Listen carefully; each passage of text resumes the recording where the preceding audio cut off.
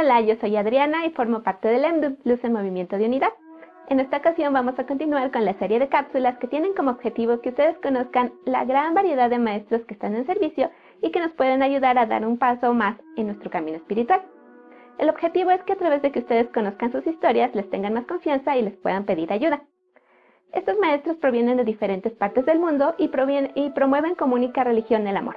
En esta ocasión vamos a hablar de Paramhansa Yogananda. Yogananda es un yogi y un gurú que nació en la India bajo el nombre de Mukunda Lal Ghosh. Él proviene de una importante línea de gurús y empezamos que su maestro fue Swami Sri Yukteswar.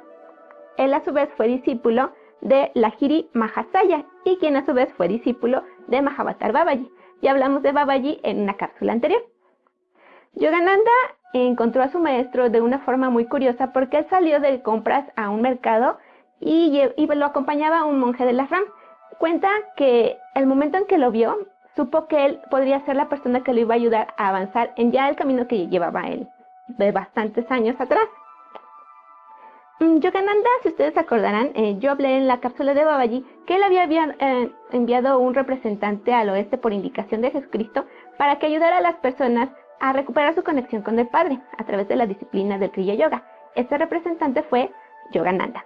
Yogananda también es un autor de varios libros, entre los cuales encontramos Autobiografía de un Yogi, El Yoga de Jesús, Meditaciones Físicas, La Paz Interior, Cómo Conversar con Dios y entre muchos otros. Entre datos curiosos que tenemos de Yogananda, podemos encontrar que si nosotros buscamos fotos de él, vamos a, notar que su mirada tiene una, una característica muy especial. Está llena de amor y es muy serena. También podemos encontrar, bueno, hace poco estaba en la plataforma de Netflix un video documental de la vida de Yogananda. Ahorita ya no se encuentra disponible, pero el video se llama Awake, The Life of Yogananda. Otro dato curioso que tenemos es que en una de las portadas de los álbumes de los Beatles, en este caso la portada del álbum llamado El Sargento Pimienta y el Club de los Corazones Solitarios, vamos a encontrar todas las fotografías de los gurús que ya les mencioné, desde Babaji hasta Yogananda. Y bueno, por último los invito a que nos acompañen a las transmisiones que hacemos todos los sábados a las 7 de la noche, hora Ciudad de México, a través de la página de Mensajes del Corazón. Y también hace poco, bueno, específicamente en este día 28, 29, eh, hubo una plática semanal, eh, mensual, de lo que sería las pláticas del EMDU y que son pláticas temáticas. En esta ocasión hablaron del pensamiento de unificación.